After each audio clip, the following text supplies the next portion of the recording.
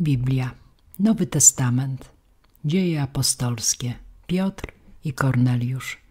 A pewien mąż Cezarei imieniem Korneliusz, setnik kohorty, zwanej Italską, pobożny i bogobojny wraz z całym domem swoim, dający hojne jałmużny ludowi, nieustannie modlący się do Boga, ujrzał wyraźnie w widzeniu za dnia około dziewiątej godziny anioła Bożego, który przystąpił do niego i rzekł mu, Korneliuszu, ten zaś strachem zdjęty utkwił w nim wzrok i rzekł, co jest, panie?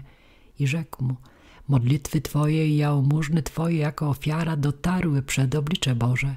Przeto poślij teraz mężów do Joppy i sprowadź niejakiego Szymona, którego nazywają Piotrem. Przebywa on w gościnie u niejakiego Szymona garbarza, który ma dom nad morzem.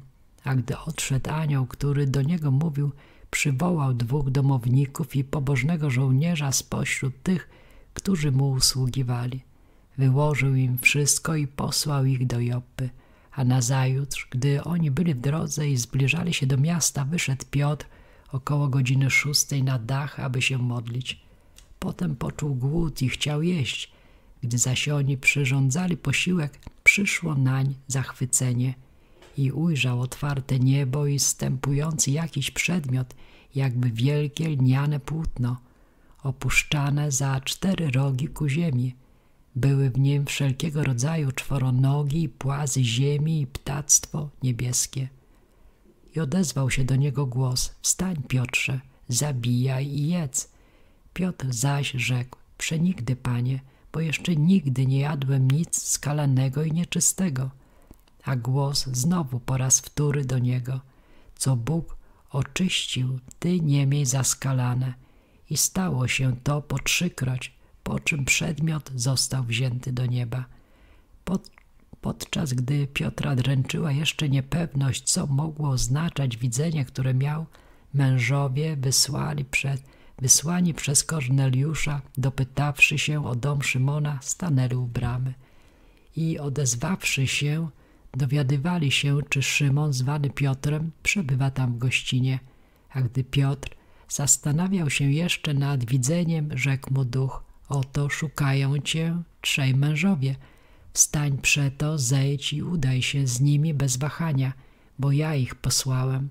Wtedy Piotr zszedł do mężów i rzekł, Jestem tym, którego szukacie. Co za przyczyna sprowadziła was tutaj? A oni rzekli, setnik Korneliusz, mąż sprawiedliwy i bogobojny, cieszący się uznaniem całego narodu żydowskiego, otrzymał od anioła świętego polecenie, aby cię wezwać do swojego domu i posłuchać tego, co masz do powiedzenia. Poprosiwszy, aby wstąpili, udzielił im gościny – Nazajutrz zaś wstał i poszedł z nimi, a niektórzy z braci w Joppie towarzyszyli mu. Następnego dnia przybył do Cezarei. Korneliusz zaś, zwoławszy swoich krewnych i najbliższych przyjaciół, oczekiwał ich. A gdy Piotr miał wejść, Korneliusz wyszedł mu naprzeciw, wpadł do nóg jego i złożył mu pokłon.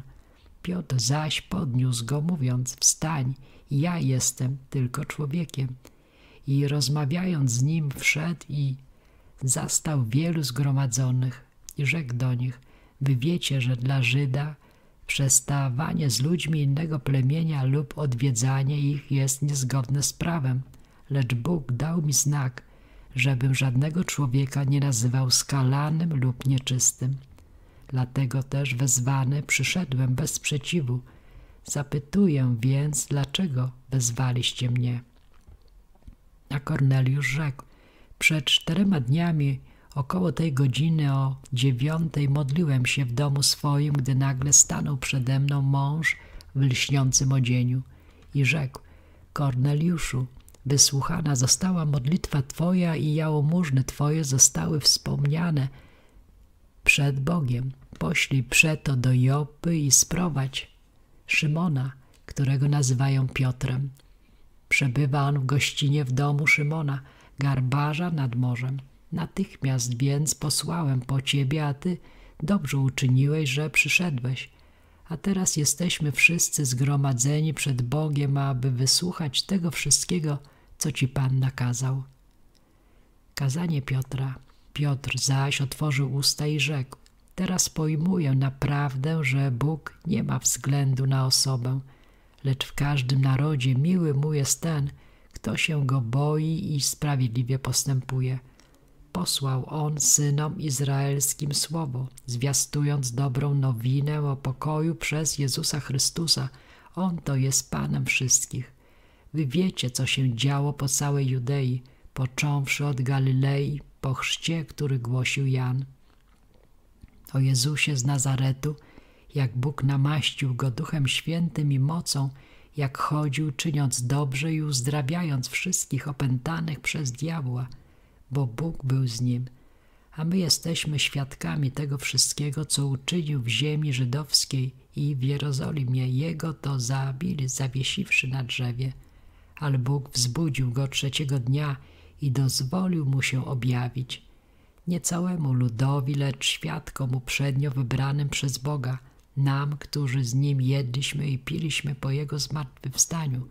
Przykazał nam też, abyśmy ludowi głosili i składali świadectwo, że On jest ustanowionym przez Boga sędzią żywych i umarłych. O Nim to świadczą wszyscy prorocy, iż każdy, kto w Niego wierzy, dostąpi odpuszczenia grzechów przez imię Jego.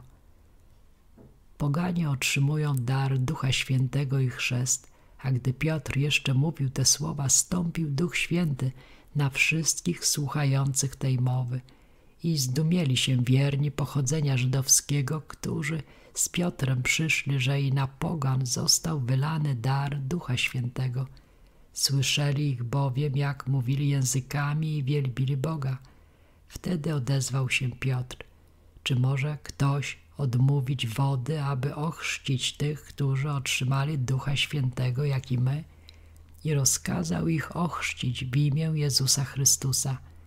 Wtedy uprosili go, aby pozostał u nich kilka dni.